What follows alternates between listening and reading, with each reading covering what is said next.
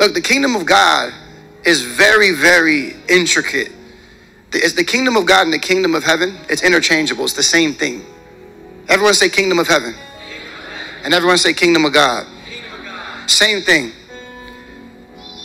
Because God obviously is the king of heaven, right? Jesus sits on the, the, the sits at the right hand of the Father. The Father, and the Son, and the Holy Ghost are all one, but but they're separate personalities, right? But they're all one. So God is the king of all of it.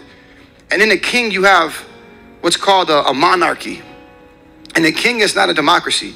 In a democracy like America, we can vote for people to, to go into office.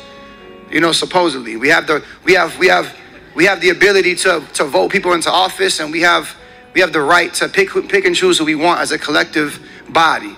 But in a, in a, in a, in a kingdom, it's one way or the highway. That's it. There's no other way. If the king decides he wants this, that's it. You can't say nothing. There's no voting. It's yes. And it's it's usually passed down the bloodline, right? So what Jesus says goes. That's why in the kingdom of God, you can't say, I believe that I can still fornicate and love Jesus and be saved. You can't. Because the Bible says to flee from it. You can't. You can't make up your own rules like it's a democracy.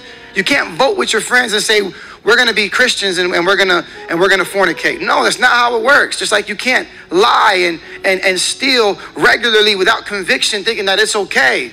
A lot of people think, oh, I'm, I'm going to sell drugs and be, a, and I'm saved, filled with the Holy Ghost, and God's going to be okay with it because I'm a special case. That's not how it works. No, you're a sorcerer. You're putting witchcraft on people. You're controlling them with substances that are not of God. You see what I'm saying?